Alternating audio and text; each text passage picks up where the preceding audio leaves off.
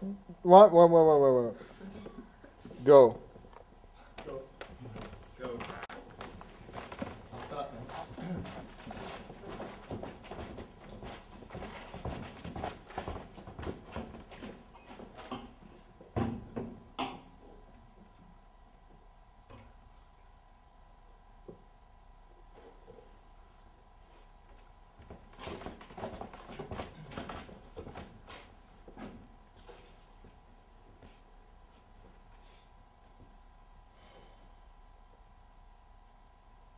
There is a beginning. There is a not yet beginning to be a beginning. There is a not yet beginning to be a not yet beginning to be a beginning. There is being. There is non being. There is not yet beginning to be non being. There is a not yet beginning to be a not yet beginning to be non being. Suddenly there is non being. But I do not know when it comes to non being, which is really being and which is non being. Now I have just said something, but I do not know whether what I have said has really said something or whether it hasn't said something.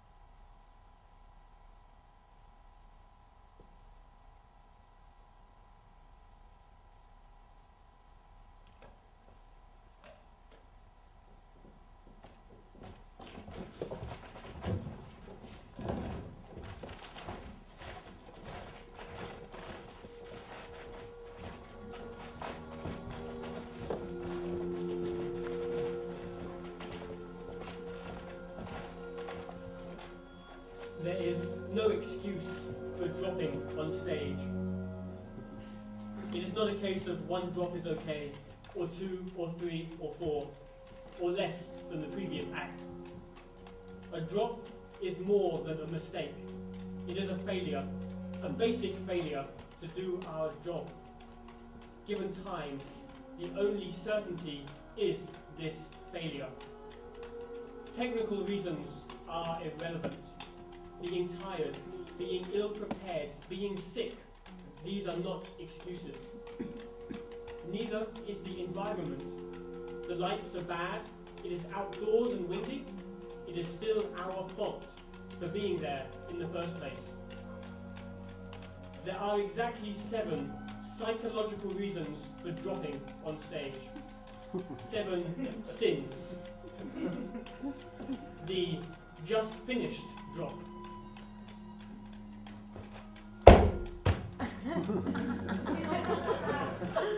The great recovery drop.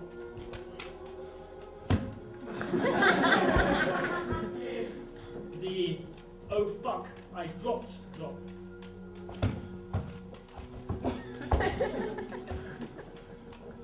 the hard bit coming drop.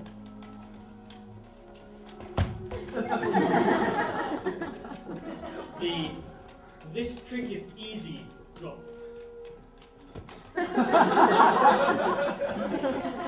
the I will not drop drop. and the cunning and ingenious I will drop drop. These are our patron saints, our apocalyptic horsemen. We hate them, but they live in us all. And only by understanding them can we control them, but we can never, ever vanquish them. Given time, our only certainty is failure.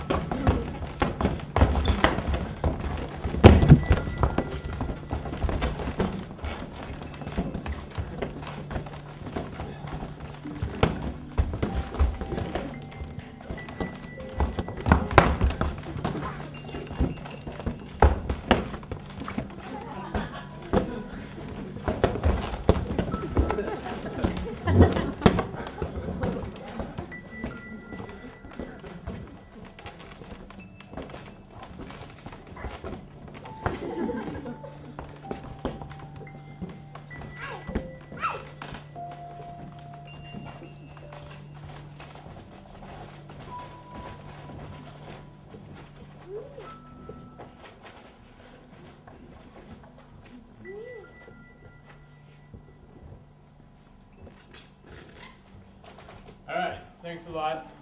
Uh, if you guys made it through that introduction, then you're going to make it through the rest of the show just fine. So now that you're still here, after our little pretentious start, a little bit of a test, the rest of the evening's going to go just fine. My name's Jay. We have Eric, Luke, and Ben. And uh, we've been researching all week different points of juggling. Uh, we did a little research project last year in Berlin together, and it went well enough that we thought we would try it again this year. So this week we've been researching different different ways to look at juggling composition. And in fact, we started this research project back in March, or February or March. Um, Luke and I made a little interview with, with Ivar, and actually the first thing that Ivar said basically is that we shouldn't do this at all. In fact, we should be looking at other parts of juggling. And then he proposed for about one hour of many more things that were interesting. But he also said that we should still go and look at composition since nobody else has done it yet. Or he said if nobody else had done it yet, then it's worthwhile doing. So, for better or worse, nobody's done it yet. Mostly for worse. And we got stuck being the first ones. So, what we're going to show you this evening is some results we found from our work this week. And I just tell you a little bit about what we tried to do. Is we would have a discussion about a different uh, topic, and we would try to find out things we wanted to answer. So we'd have a list of questions, and then we would try to make some experiments that we could test to see what would happen. And that's about it. So tonight, we're going to show you the tests we made and show you the things we found about juggling composition. Also, you should know, since uh, this is a very homemade project, we gave ourselves very strict limits since we don't have so much time or money or patience. So a lot of the tasks we would set down the question, make the experiment, and then complete the experiments in about 5 to 11 minutes each. So very, very fast decision making and trying as best as we can. So the first thing we're going to show you tonight was a little composition exercise we did about canon. Because in dance or in music, we have this idea of canon, that if there was more of me, we would go here and the next person would do the same and the next person would do the same in time.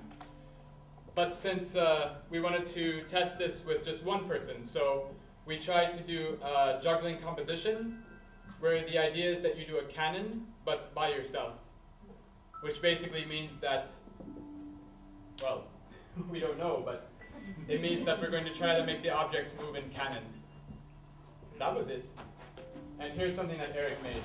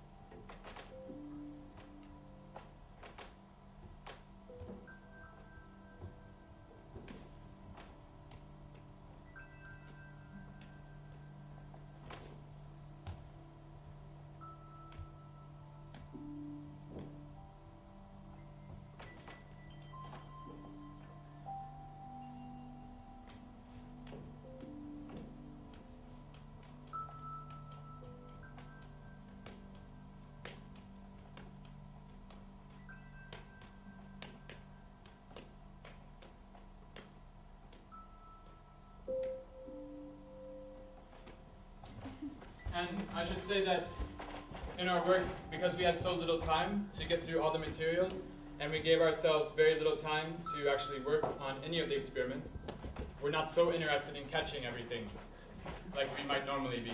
So tonight, we're just going to show you the ideas, and if we drop, it sucks for all of us, basically.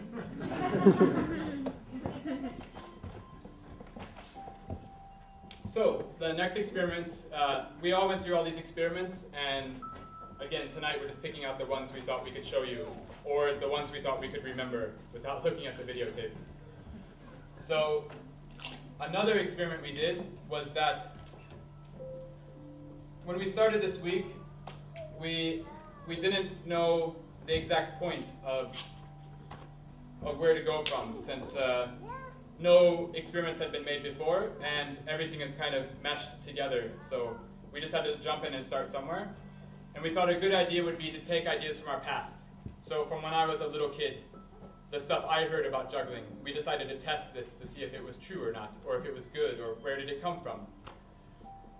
So one of the things I'd always heard uh, growing up, being a performer, is that you should use the whole stage. And that if you don't use the whole stage, you, you're doing bad performing. In fact, there's a competition in America for juggling, a stage show competition, and you would get points marked off if you didn't cover the whole stage. So, we decided to test that in various ways to see if it was necessary to cover the whole stage. And now, Ben is going to show you his composition where he intentionally tries to not balance the stage. So on purpose, he will not use the whole stage. This is one experiment we made to see if it would work or not.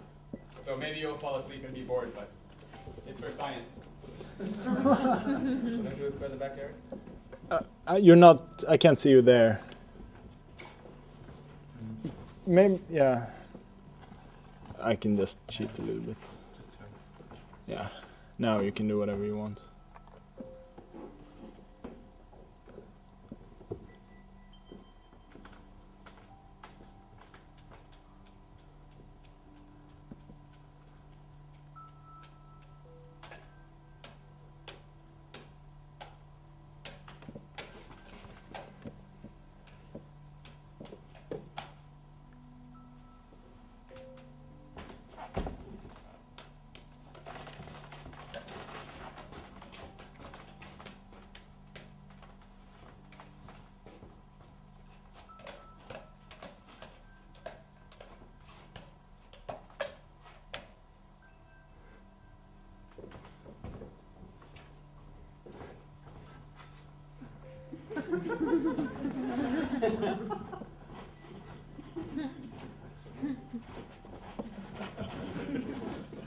Should say as well that with all these exercises, we try to keep it in line with juggling as most that we can. So we're not so much interested in dance or theater or literature or clowning, music. Of course, all these elements combine and you can't escape it since we're talking about a performance. So sure, on some level, we use theatrical staging to make a concept, but hopefully we stick, uh, we stick very close to the juggling and that the juggling dictates what happens. So, uh, another rule I had when I was young is that you shouldn't do uh, tricks that are similar next to each other because the audience will get bored. So, if you have some trick that's like this and a trick that's like this, you wouldn't do that. It's a concept called high, low, fast, slow. And you can use that if you want. But we decided to test it uh, in many different ways. We made lots of different experiments based on high, low, fast, slow. And so Luke is going to show you a vaguely related experiment. What we did was, first, we had Luke make a sequence using just one object, and so he makes a sequence, whatever it is, and he doesn't change it. And the next thing is he adds an object to the sequence, and then he doesn't, does not change that, and then he adds the third. And we had to guess which was the first object he added, and then we had to try to guess which was the second object.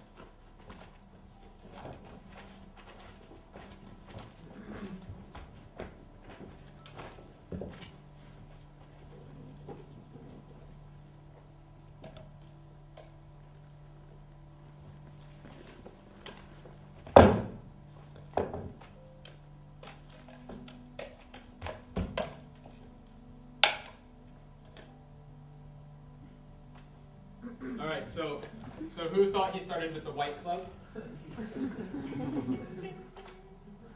all I had for that. That was good though. More, I, guys. I was hoping you'd use Yeah. it, but Okay. yeah. Great. Thanks. You'll have to watch the TV show to find out the answer next week. If Luke gets voted off. Alright. Uh, let's see. Oh yeah, we tested another old, old, old, old idea. Which is that normally as a juggler, if I'm juggling clubs, and I want to then next show you my ball juggling skills, normally what I would have to do is I'd have to stop juggling the clubs and put them down and pick up the balls and start again. So maybe it's not uh, the most interesting way, maybe there's a better way, I don't know. But one thing that old-time jugglers had was an assistant, right? They had their lovely assistant to, to throw them the props, and then they could go faster, this transition, they can make it faster. So we decided to, to test this as well. And also, you'll notice in old-time acts, they would start with three balls, then four balls, then five balls, then three rings, four rings, five rings, then three, four, five, six, whatever clubs, like that. And that's a little bit easier because all you have to do is catch one more object and then do your trick and then catch the next one. So it's quite fast. So we decided not only to try to do this without an assistant, we decided to mix up the order of props to make our lives more difficult. So we decided on an order of three balls, four clubs, four rings, five balls. And I'm going to show you what I tried to do without an assistant.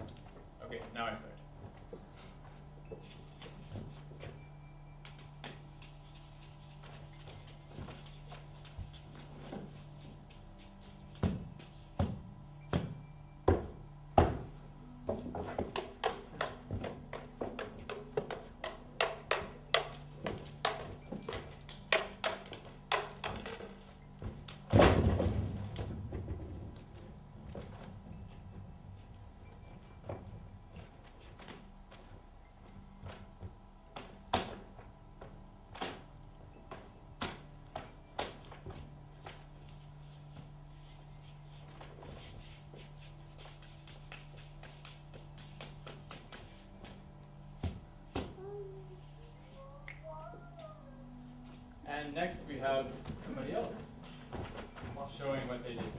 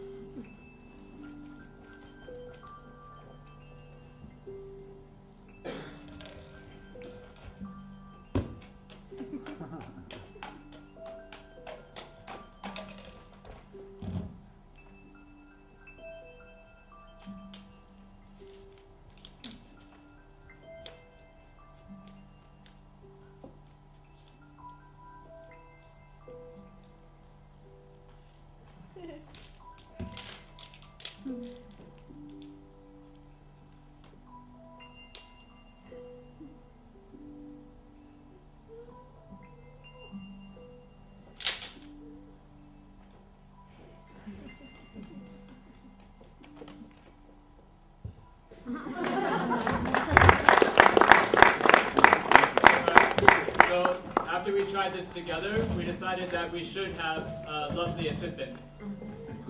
So we divided into pairs and we made one person a juggler and one person an assistant. We had two rules.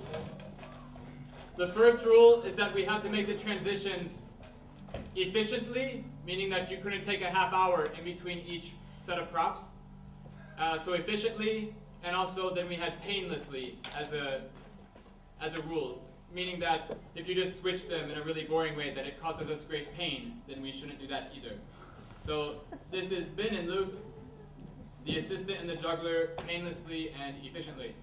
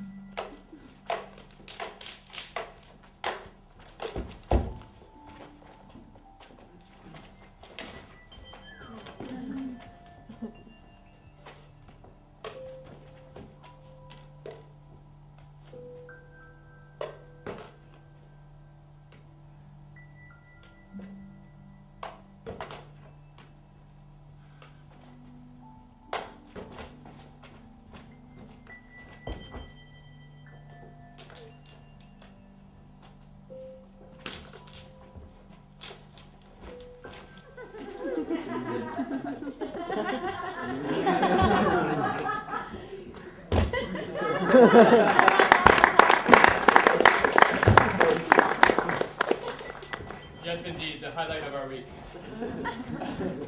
so, as well, we made a few different experiments about this same subject.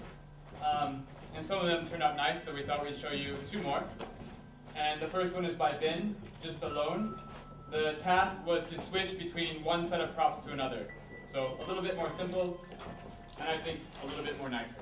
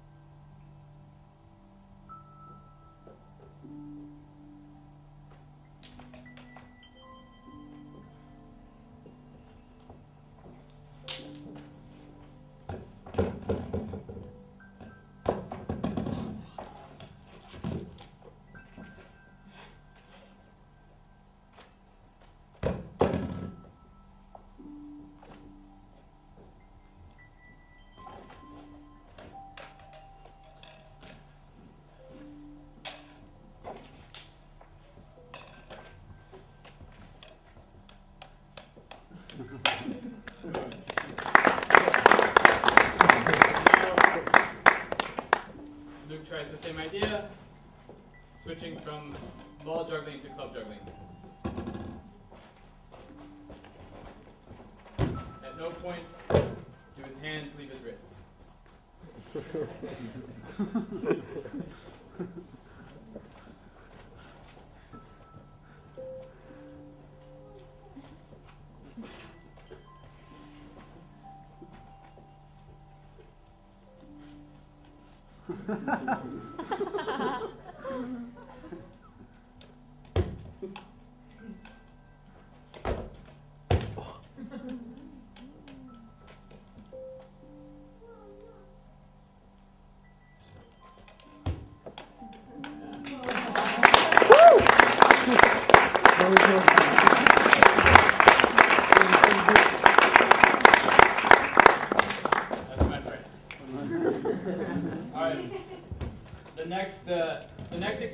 did was inspired by two members of our audience tonight.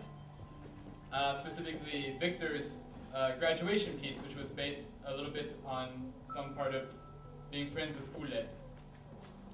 And so, uh, if you haven't seen the piece, Victor does this 20, 25 minute long, very great, very, very great routine.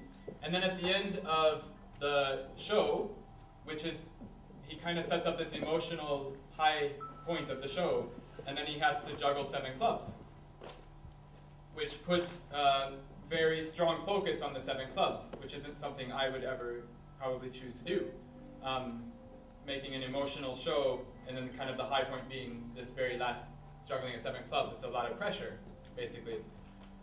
But um, it's also very moving when he catches it, and even when he doesn't catch it and does it again, it gives it more importance. So we thought of this idea, um, can drops have more importance? Can they have more consequence? Because also, uh, I was directing a show in Italy. Um, this is a very simplistic example, but I still remember it. I was directing a show in Italy, and a girl who did aerial hoop, she came to me, came to me one day just screaming and said, why don't the jugglers fucking catch things?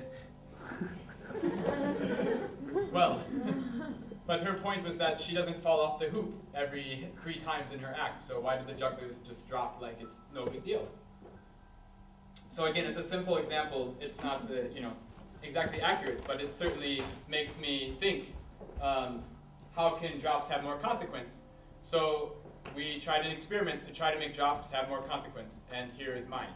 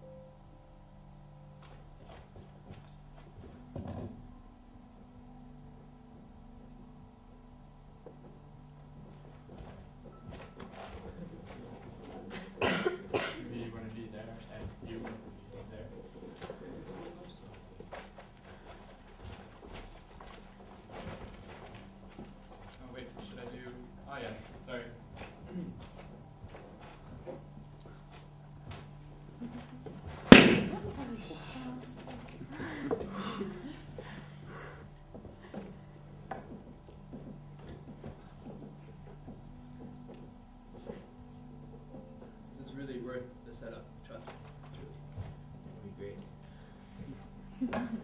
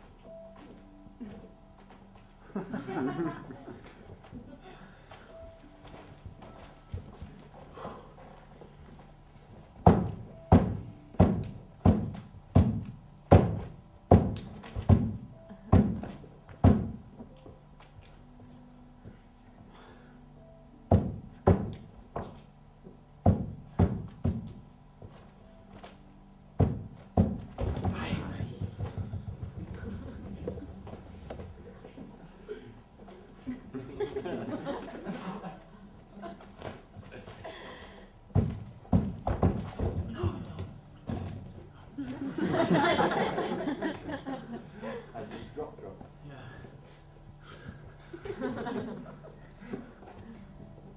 of course, I could always try again.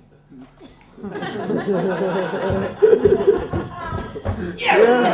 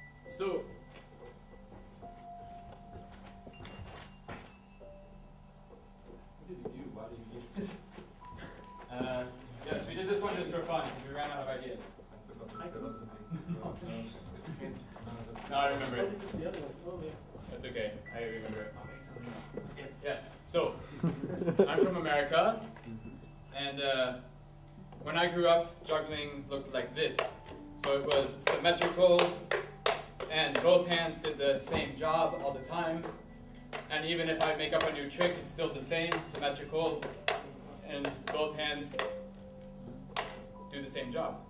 And when I came to Europe, there was uh, juggling like. Uh,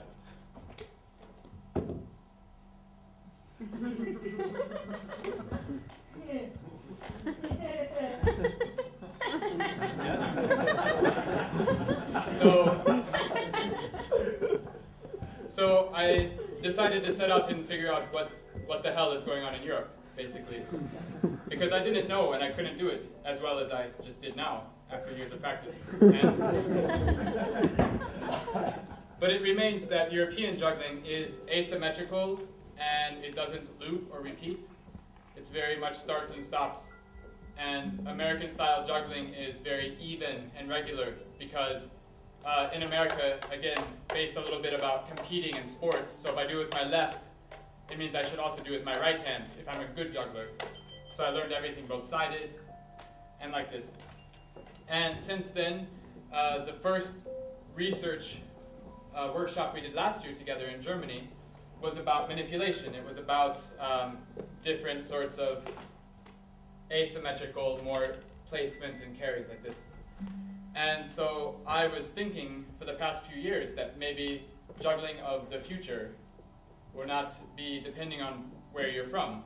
In fact, that uh, both the American style of high technique and uh, symmetrical looping patterns, where both hands are equal, will be combined with the European asymmetrical, more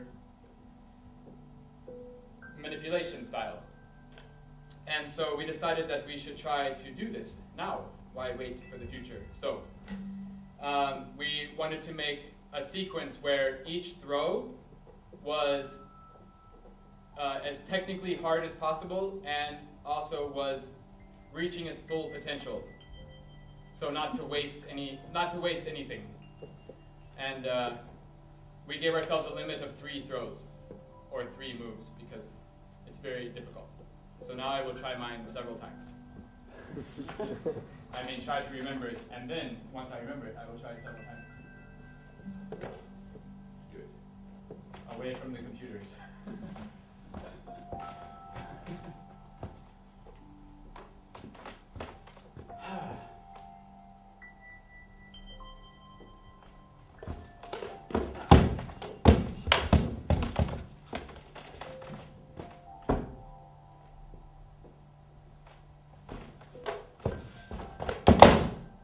yes.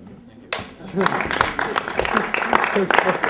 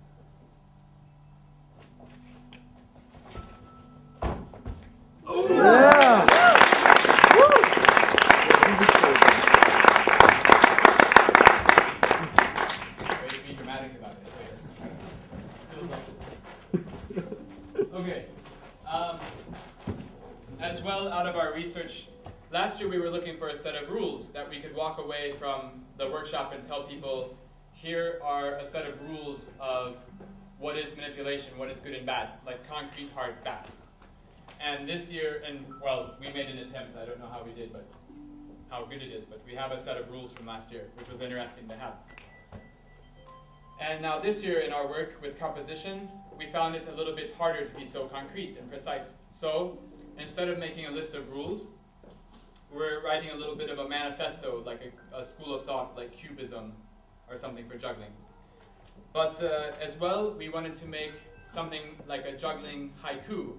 So in language, haiku is just a structure or a form for a composition, a very historically concrete and rigid structure of composition for language. And in a haiku, you have five syllables, seven syllables, five syllables, like this. So with juggling, we wanted to make a structure for composition that was equally clear and short and hopefully fun. So just hours ago, in fact, we made uh, what we call a blend. And it's the new thing, you're going to see it everywhere.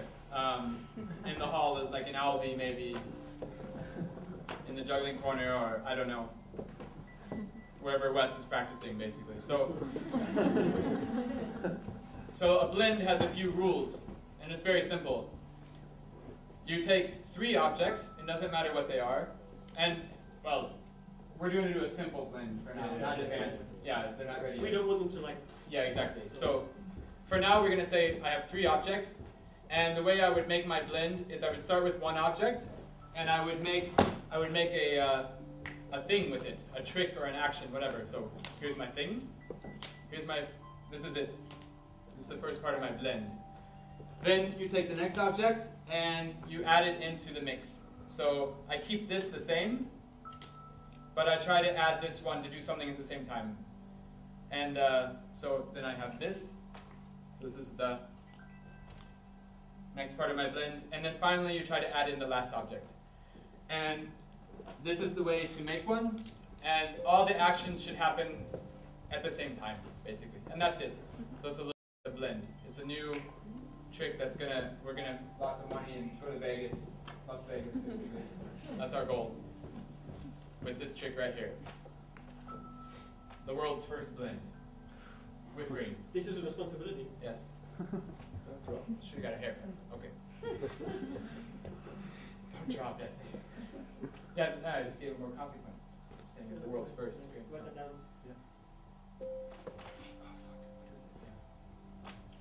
Oh, fuck. What is it? Yeah. yes, thank you very much. Yes. Uh, you as well can go home tonight and stay up all night long making blends. Yes. Pause. Luke, Luke has a. Pause. No, no, no. Pause. Stop speaking. We have to change the video cassette. Don't go anywhere. Three, two, one.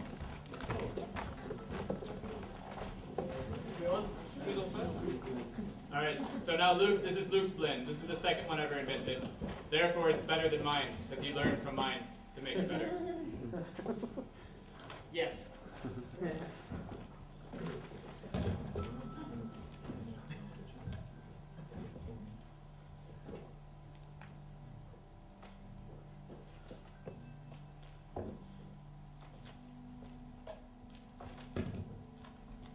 then you do it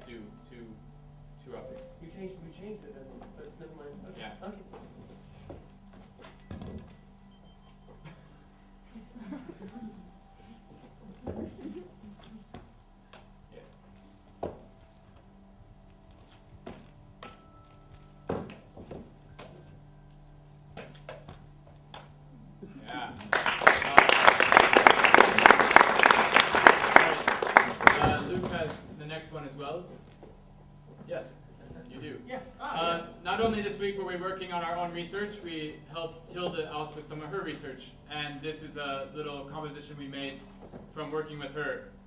And I think we had two words to to lead a composition, and the two words were Presentation. presence Presence. and gravity. Yeah.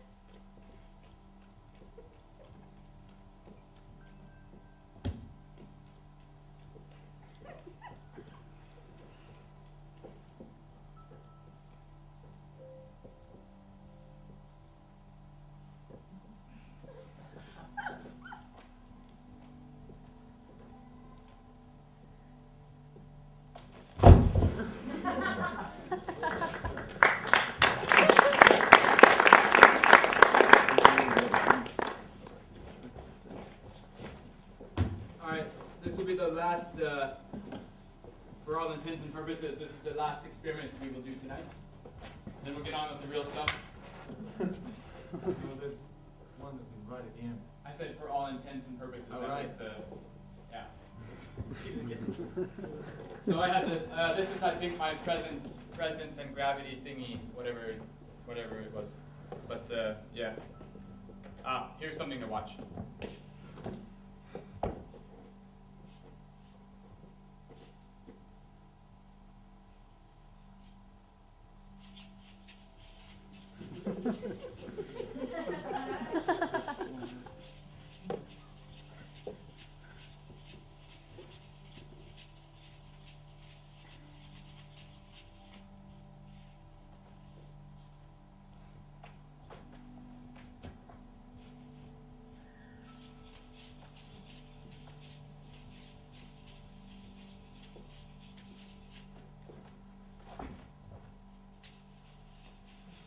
Uh,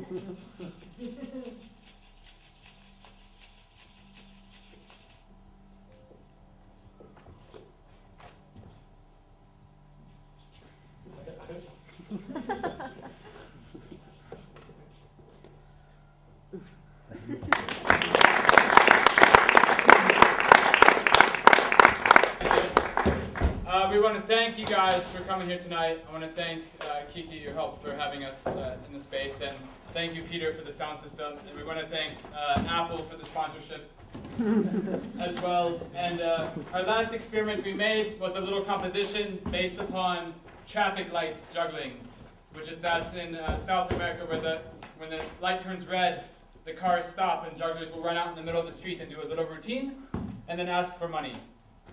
And so uh, that's what we're going to do, including the asking for money part. We're going to pass the hat if you'd like the show and you want to see more of this.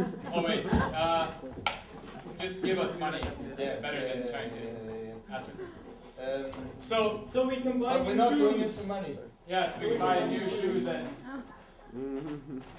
But we're doing it for fun. Listen, seriously though, a pizza at the pizzeria costs 35 crowns, you know, for the circus price. But they don't know that Ben and Luke are from the circus hall, so they get charged 50 crowns for pizza. so, yeah. Uh, something about ice cream, I don't remember. Yeah, good. Alright, so what we're going to do is show, and, and, and Ben calculated, he has some friends in Berlin. They, they can juggle for 25 seconds. Uh, and then collect money after that. So we have a 25 second long traffic light routine. You're gonna all imagine that you're in a car, a bus. A bus would actually, they could all fit in a bus. Yeah, that's smart. And uh, Two buses. right, Yeah, yes, three. good. Right, and I think we do it at the same time. Okay. So we had composed these uh, separately, but uh, we're just gonna give it all to you at once, so we get more money.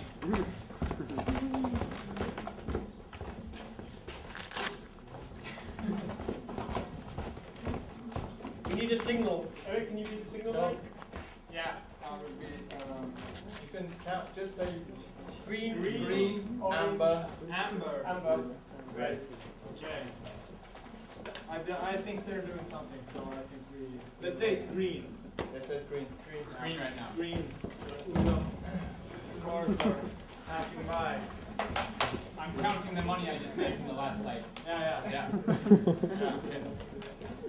So it's still green, I think. Yeah, also in between, actually, if this was, the situation was real, when it's green, we're fighting these guys that have the. The windshield wipers. Yeah, the windshield wipers. That's what we would normally do if Right. it's green, but now it's kind of a fake situation. So it's still green. And then.